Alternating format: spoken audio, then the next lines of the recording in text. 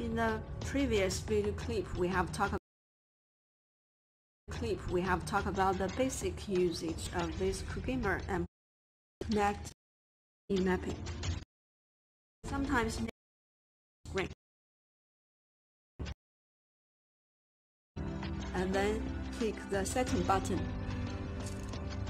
And then about the controls we chose the first one customize here let's take a screen